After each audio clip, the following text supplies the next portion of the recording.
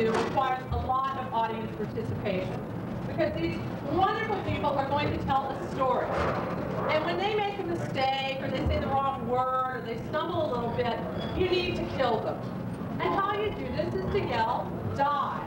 So let's practice. One, two, three. Die! They're going to live through that. Come on.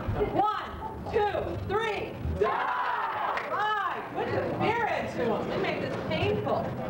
And what I need from you to start with, let's get you used this whole life. I need a name, please. Just a first name. Ed. Ed. And I need an occupation. Dentist. Ed the dentist. And I need a geographic location, please. Australia. Ed the dentist in Australia. We bring you the story of Ed the dentist from Australia. It was a hot, hot, hot day in Australia, and was off in the outback with his bag full of dental. He was looking for kangaroos who needed dental work, and he found one. It, Inside a kookaburra. The kookaburra was so incredibly full of cavities that Ed could not believe. his eyes. So he reached into his pocket and he pulled out a Tyrannosaurus Rex. He, because the Tyrannosaurus Rex was just what he was thinking of at the time. And so, and so he decided that the Tyrannosaurus next next greeted.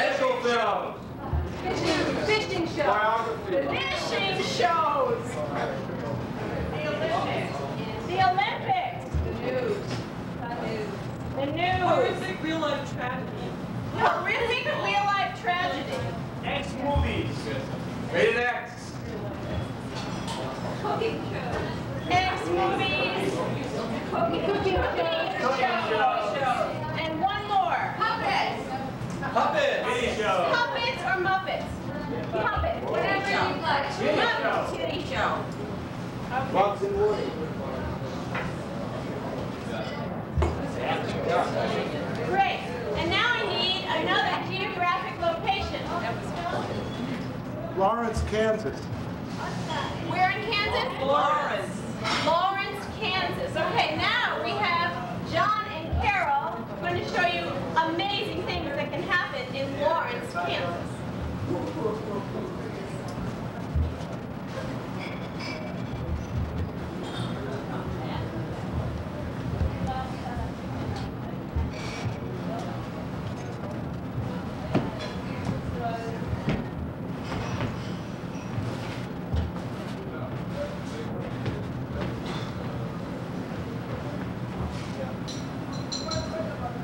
Bob. Bob? Oh my God. Sylvia. Bob Cameron. Sylvia Diekman. Freeze. Soap opera. Well, it's not Diekman anymore, actually. You see, I was married, and he hit me. Oh, the shame. It's okay. I was married too. And she hit me. Freeze. Spy movie. They knew each other. Yes. It was the eagle. The eagle has landed. It's a conspiracy. You'll get them this time. Freeze. Fishing show. Yes, we'll catch them this time. Yeah, we sure will. Oh boy, I feel lucky today. The last time I got one this big. Yep, here we are. That right big? Sylvia. Yep, this Oh, big. oh, wow. Well, let's, uh, what do you say? Let, let's set them up on the counter and wait for them to bite. Oh, Sylvia, come on. The, the fans out there, they want to see you catch that big blue heron out there. Let's go for it. Freeze. MTV. Blue heron! Blue Yeah. heron! Ooh, ooh, Blue heron! ooh, ooh, ooh, ooh, ooh. I'm sorry, it was just, it's something that, that came over me. Freeze. X-rated movie. Perhaps you'd like to see what I'm really like.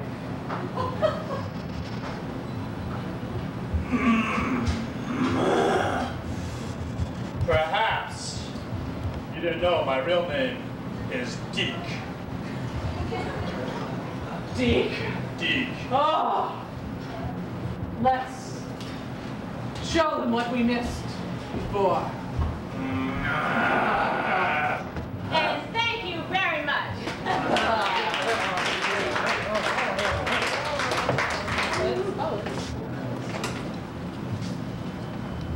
Good evening, and welcome to the 59th meeting of the East Queensbury Poetarium. We have some really fine poets for you tonight.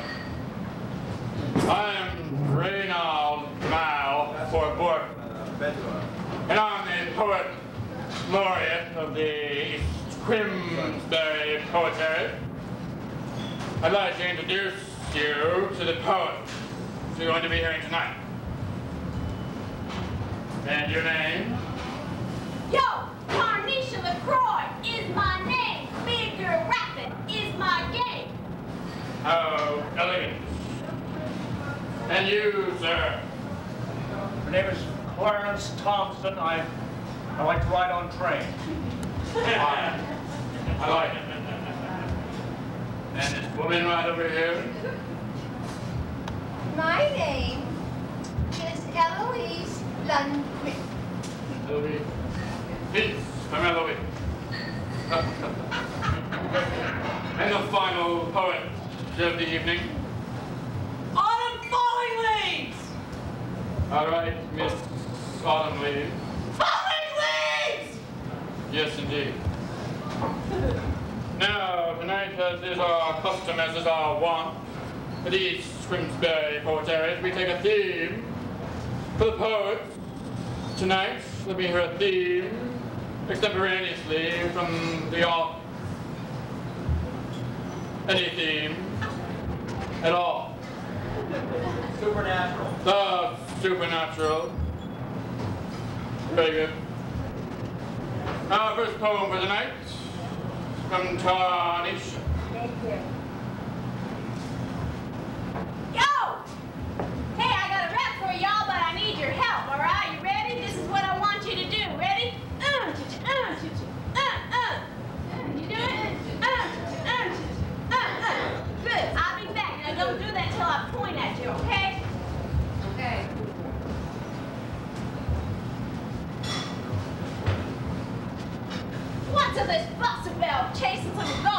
You ain't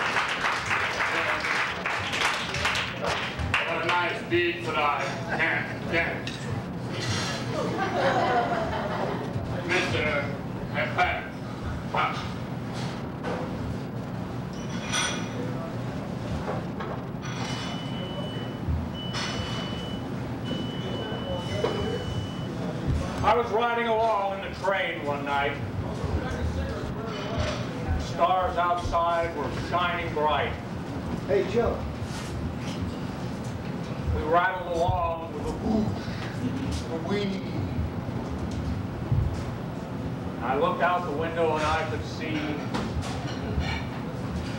waving fields, beautiful grain, whizzing by that majestic train. And I looked again, and I thought I saw a ghost train right out there, right now.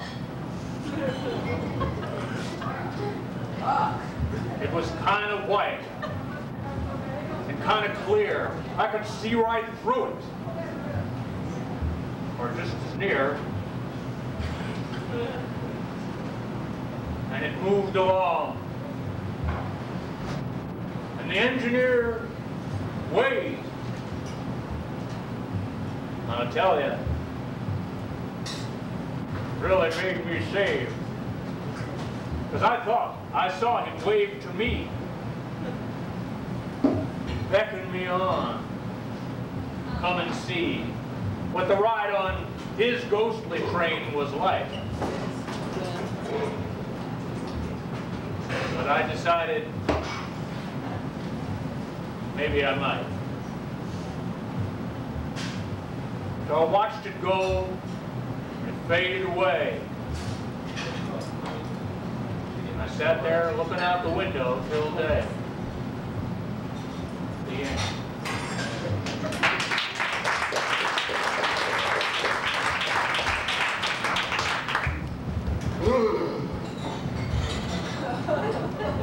Is Ungrim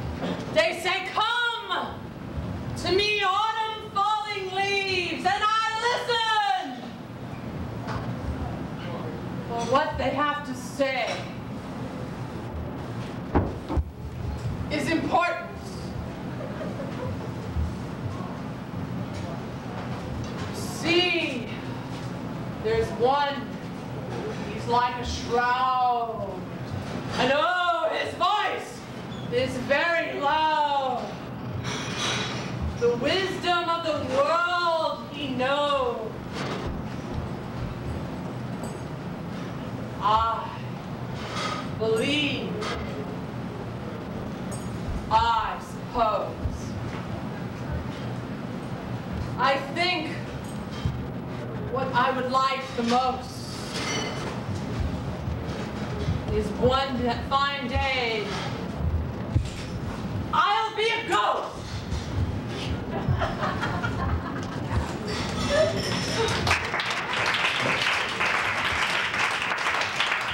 Well, thank you all for coming tonight. Next month, join us when we'll have our topic, rock music. Why doesn't it rhyme? Thank you very much.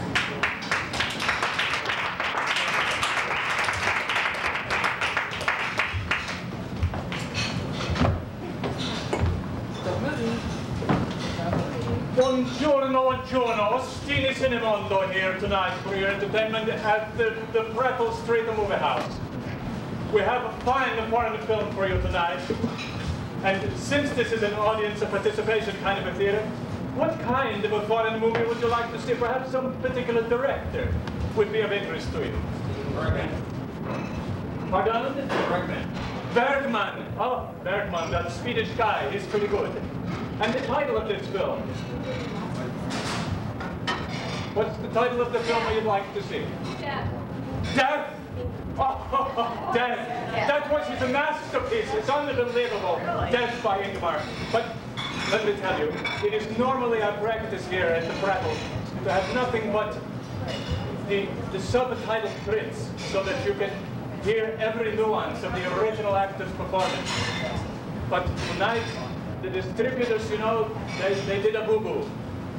And we have tonight for you, I'm sorry, it's a dubbed print of. But I know you're going to really enjoy this movie anyway. So now, without further ado, Death by Ingmar Bergman.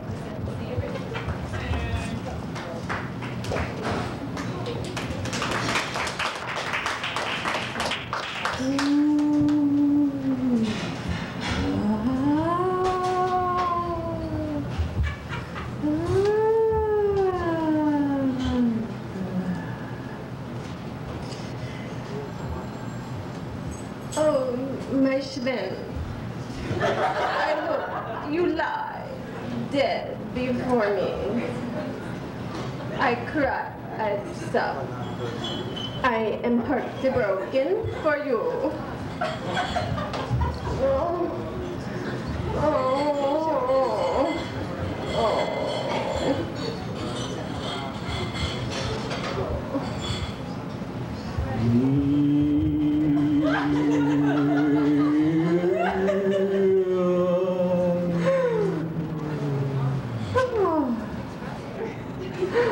Eve, Eve, Oh. oh, it is you. My geschmacken husband, you are coming back to me. Yes.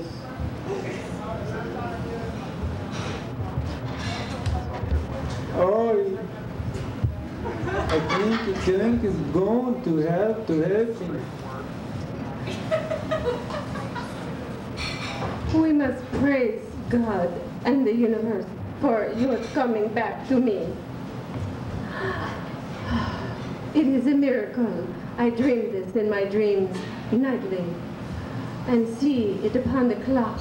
Your face is still like the morning dove.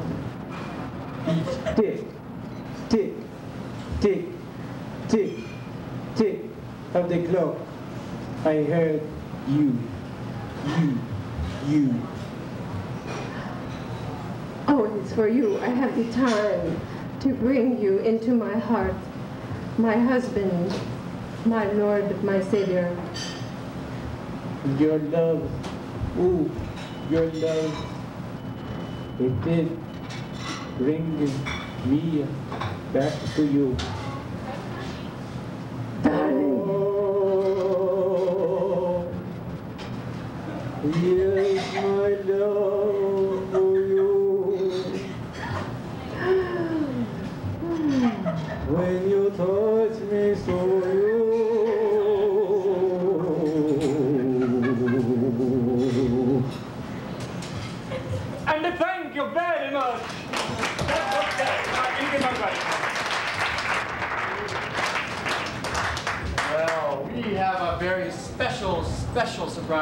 tonight. We have an expert here tonight.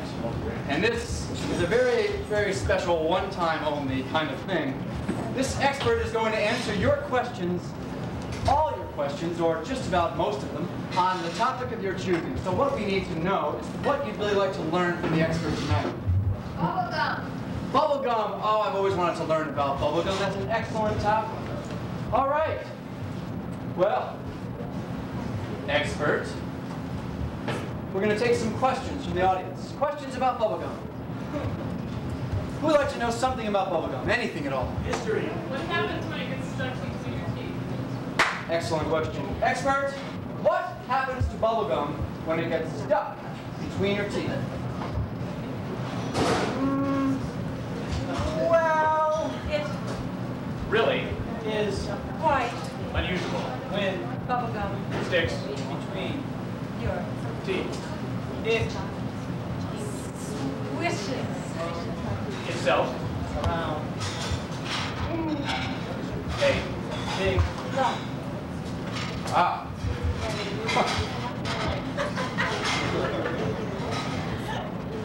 Tells you something, doesn't it? Any other questions about bubblegum? Yes? What is bubblegum made of? What on earth is bubblegum made of?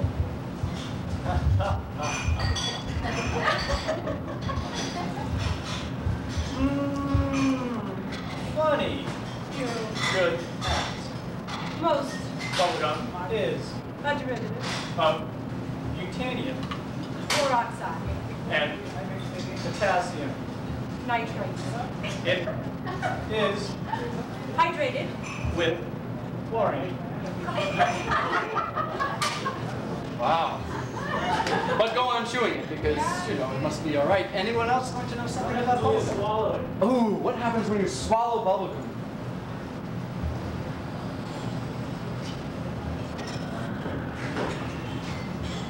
It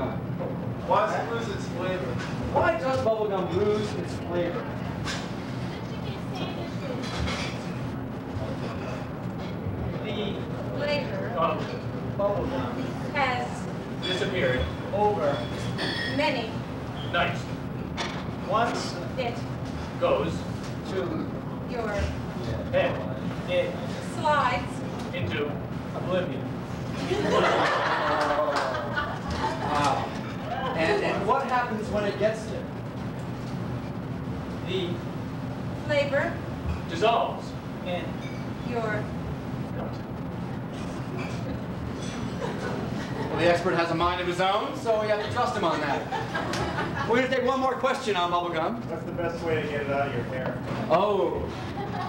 For years we've been searching this answer. What is the best way, expert, to get bubblegum out of your hair?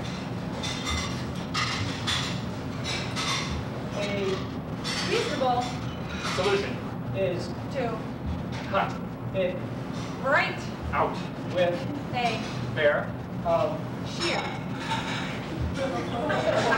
so, the expert is practical minded. Well, thank you very much. Our expert will uh, expound on many topics, so keep your eyes out for our expert.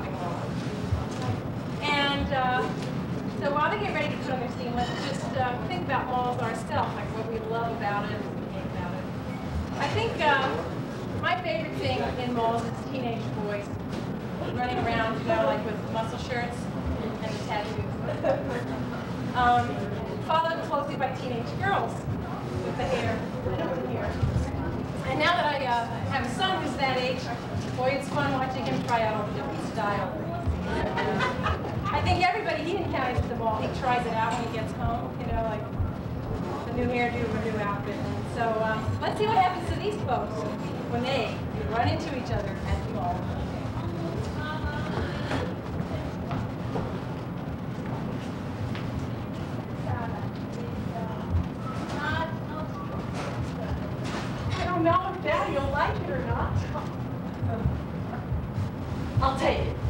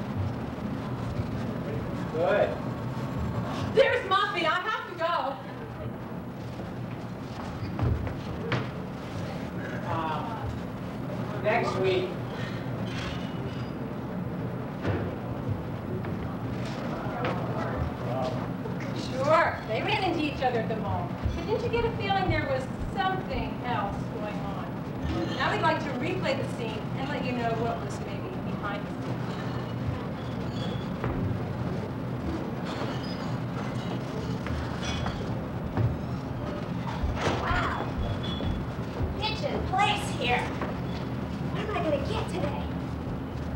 Gee, it looks really great. I wonder if Daddy will like it. Yeah. I'll take it. He's gonna love the bill, too.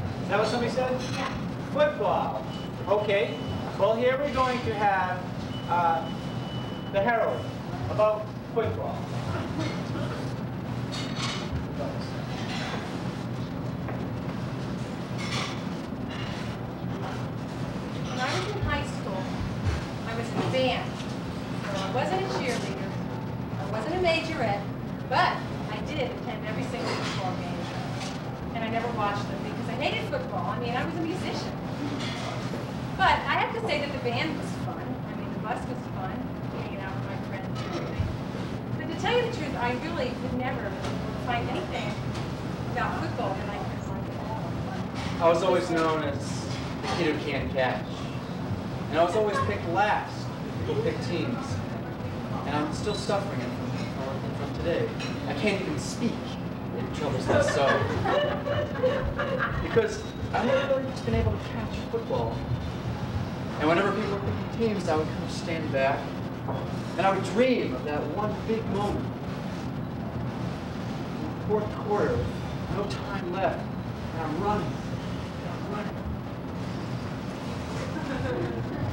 I wrote sports for the college newspaper, and I was the first female reporter. They wanted to make me cover the women's sports, and I said no. The one thing they never let me cover was football. I think they figured girls couldn't understand football. Really used to make me angry. I go this week, this week, and finally, it's like a present they gave to me my senior year. They let me do a feature article on the cutest guy in the team. Yeah, let's see you get your way out of this one. It was ninth grade. I weighed 89 pounds. I wanted to be cool, you know, part of the clique, which was the football team. So I went out for the football team. Shoulder pads and everything else weighed more than I did. One day in practice, they weren't liking the way the blocking exercises were going, so they said, McLaughlin, get over here. He was the captain of the team. Show them how to block. I was next in line. Well, I was then on the ground. Stars were twirling around my head. Was shortly thereafter that I decided maybe something like running was more a sport for me. So, You know, I always wonder how you get the job for tight end. You ever think about that? Do those guys really all have a tight end?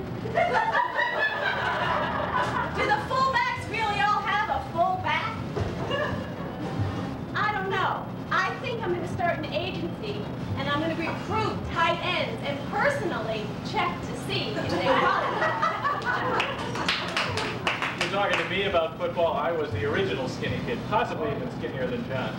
I never even went out for football. But we did play touch football at home. My major and probably only memory of football is a touch football game in which I was tackled by my sister. Now this is touch football, but she tackled me anyway. There was this clicking sound, and it was my right collarbone. But hey, it's a really good game, and it's very important that athletic activity gets taken care of. Anyway, I'm gonna have my So I went up to the average. coach and he said, look, I'm only 89 footballs, John. It's pretty great. I mean,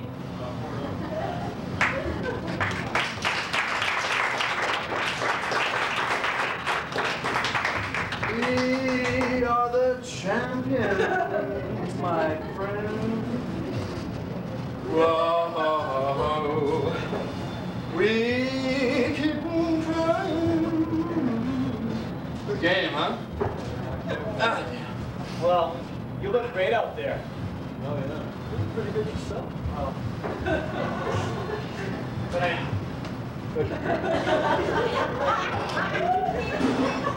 Oh, excuse me. I'm gonna get my uh, soap on the rope, okay? Hey, Right back. all right. Oh, here we go. Well, that's a good thing to have. You know, I really like the way you run that pattern. You know, the way you run that pattern is just really terrific. I'd like you to teach me that sometime, you know. You mean the one where I go long? Yeah, it's really, really long. Well, Hard to the right. um, well, maybe I'll show you later. Let's have Yes, I finally got the interview! Come on, come on. Be cool, be professional.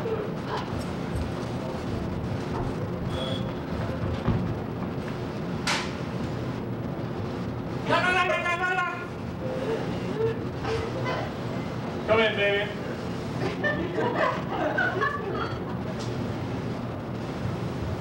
Hi. Hi. Hi. Hi. I'm the reporter.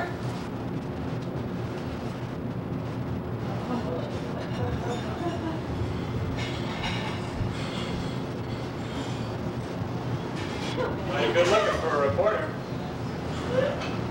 Well, gosh, thanks. You're kind of cute yourself. Something I can tell you about? Yeah. What do you guys talk about in the huddle?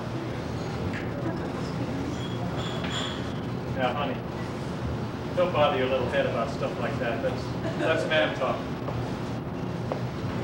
Let's talk about more important things. Are you married? Not yet. Yes, and I want the ad to read, only tight ends apply. Last week it said, some tight ends apply. Excuse me, I Oh, yes. Oh, yes. Very nice. Excuse me, let me.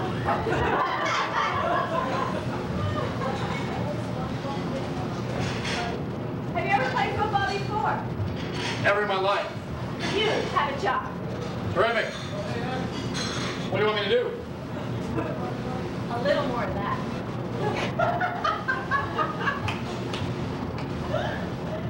okay, let's see if we can get a camera shot now. Ready? All right. Say, Bubba, Bubba, I love it. it's rough being an actor in this town.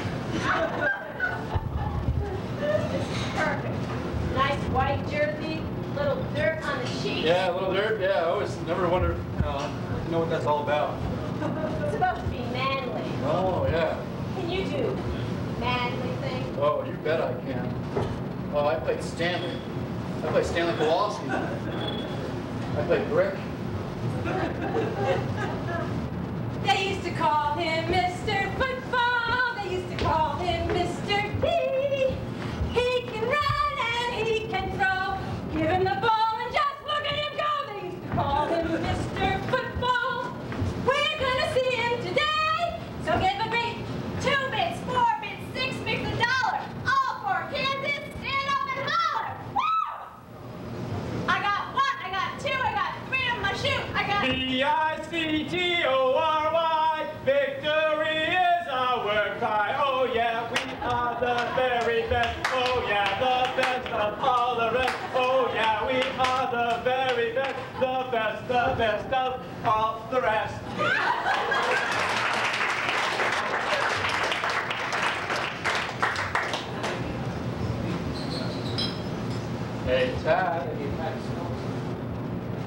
Tad.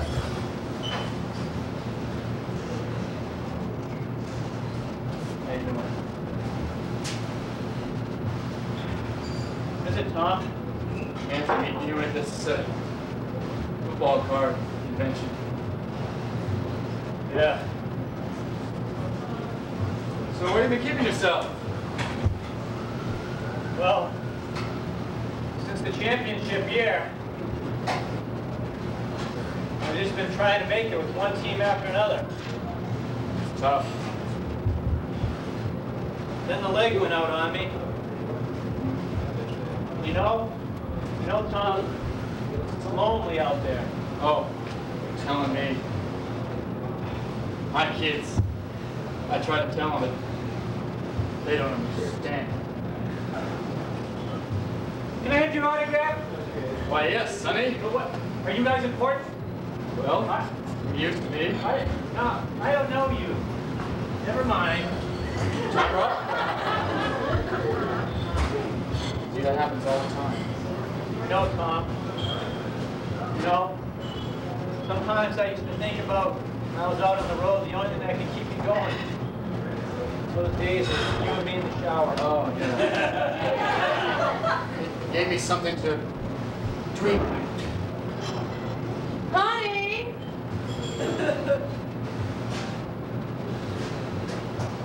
Yes, Lemmy? I just love watching you play football with the boys. They're gonna grow up to be little bruisers. I can see it. But did you get the house clean today?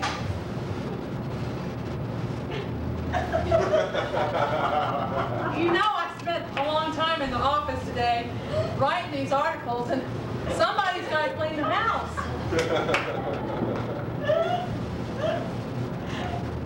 Well, I got, got playing with the boys, you know, and you, you know I hate doing that stuff. I don't want to do it.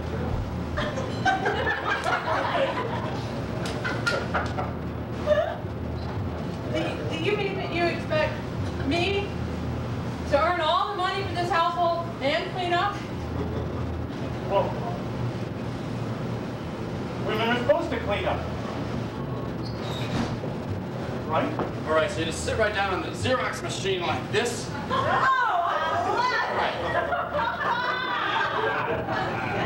Great. I like that last one. That last one was really No, no, something. no. Move that cheek over to the left. There. Oh, I mean, your other one. That's what you'd say if you were a football player. Your other. Left, left, left. All right, hit it again. Okay.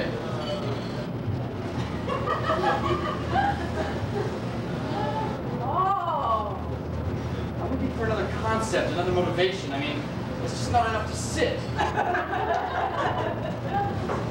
Wouldn't you think I might approach the Xerox machine so that there might be an image of somebody you know, like so without a shadowy effect, like a almost like a silhouette. Silhouette. I like. I like it. All right, I'll tell you what we do. Let's try colored paper. I see posters. I see posters. I see. All right. No, no, it, it doesn't have a money effect. It just it's contrived. It just seems somehow. Well, let me sit up again. All right, let me just try that. All right, come on now. Oh wow, this is almost psychedelic. This could bring back the '60s. This is just. This is just.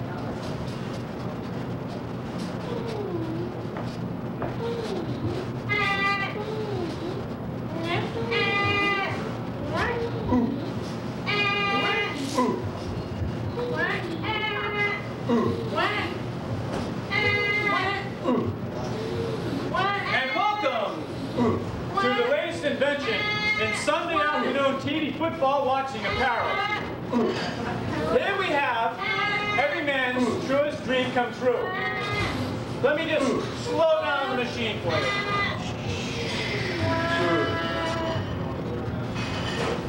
Here we have, let me just turn this part on first, the automatic buffer to keep a clear picture on your screen. And let's do this part here and here. supplies, a full supply of cold beer, a frost beer, and then up into the mouth. Now let's see what's over here.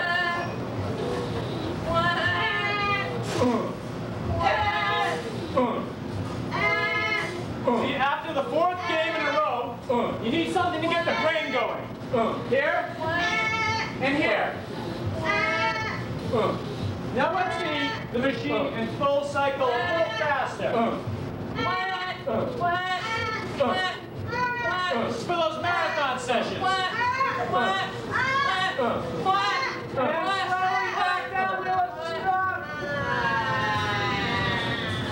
For all you football buffs out there, it's only $99.95.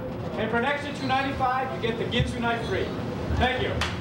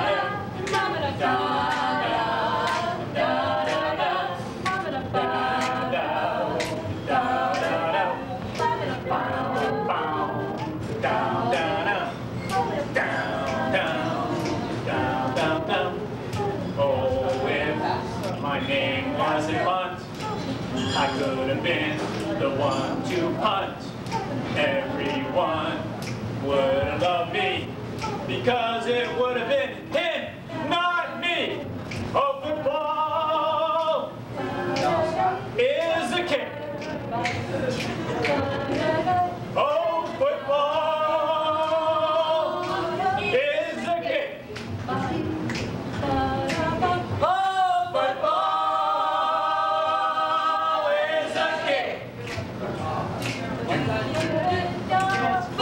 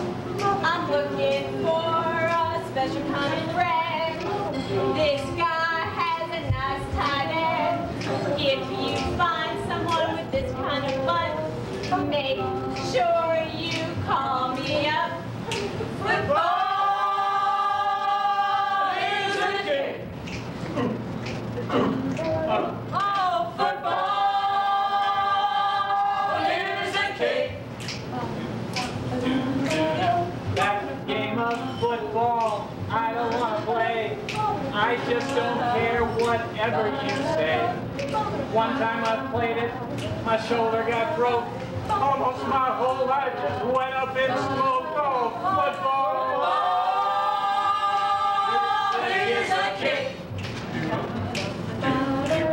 Oh, football is a.